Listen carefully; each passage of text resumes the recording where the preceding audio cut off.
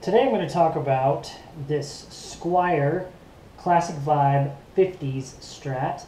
Now, obviously, it's you can tell it's not a stock guitar. I've done a few modifications to it, so I would like to go ahead and talk about these mods and kind of explain to you what I've done, and, and then we'll try and run through some sounds and see how see how it fares. So, first off, the first thing you notice, I've, I've done a new pick guard. Um, I didn't care much for the white pick guard; didn't really flow too well with the uh, the finish. Um, the other thing you'll notice about the pickguard is I'm missing a volume knob. Now this is a custom pickguard I had made from at Warmoth, and I only did the uh, tone and volume on the, the bottom here. Now I'm running a master tone and a master volume pot as well. These pots are unique. Um, I've got a no-load pot here in the, the tone, excuse me, and then the volume pot, which is a standard 250K, has a treble bleed circuit on it as well.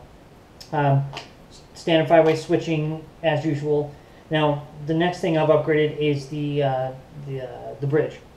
And this is a Guitar Fetish bridge, and I've got brass saddles on this thing. And it is also running a um, brass full-size block as well. Now, I do have five springs, and um, I don't have the tremolo arm installed. I don't, I don't really use it that much, so um, I like the way that the springs resonate, and uh, it gives a little more sustain as well.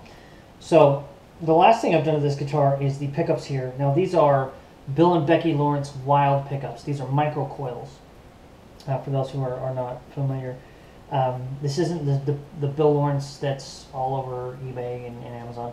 Uh, this is Bill and Becky Lawrence, the, the uh, in-house version. Um, and again, these are micro coils.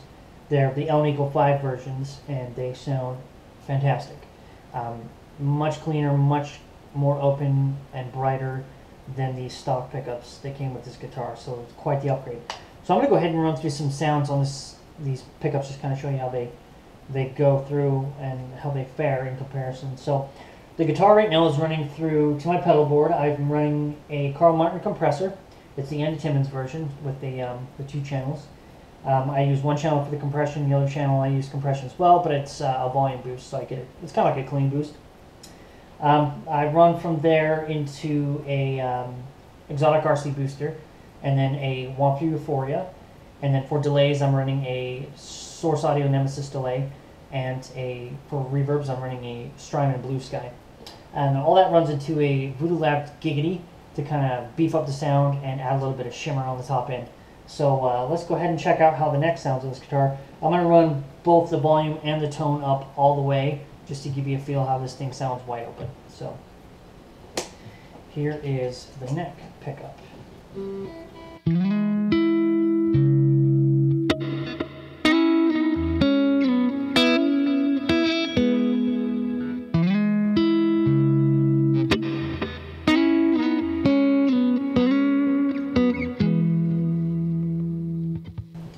Here is the neck in the middle.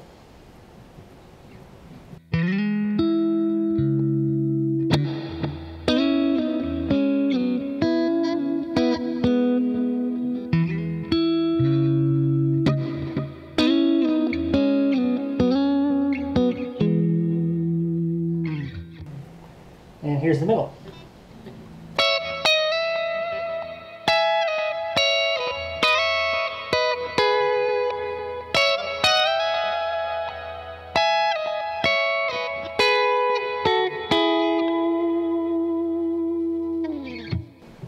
So let's check out the middle and the bridge. However, what I'm going to do is I'm going to drop the volume down to about six or seven and kind of activate the treble bleed.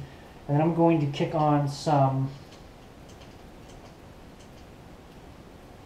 delay here to get that kind of a U2 sound and show you how shimmery these things, these microcoils can be. And of course the tone I have all the way up as well.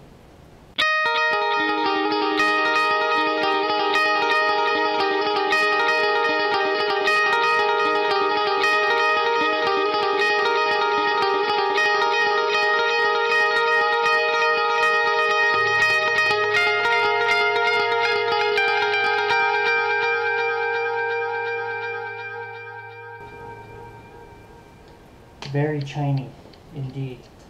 So let's check out the bridge pickup and I'm going to throw on, I have a Wampler Euphoria, just to kind of show you how, I don't know, how bright and good this bridge is. So.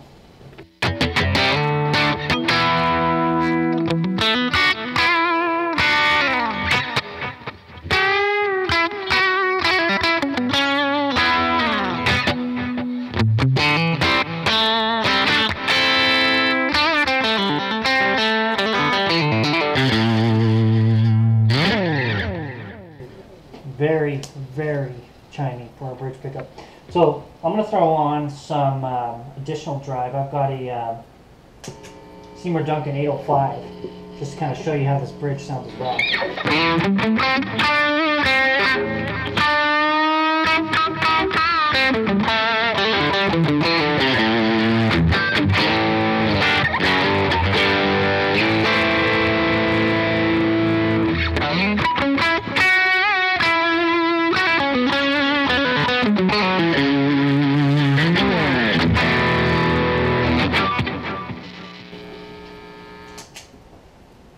Super thick, love it. Very much so. So that is the classic vibe 50 Strat with uh, Bill Becky Lawrence Wilde microcoils, and uh, sounds fantastic.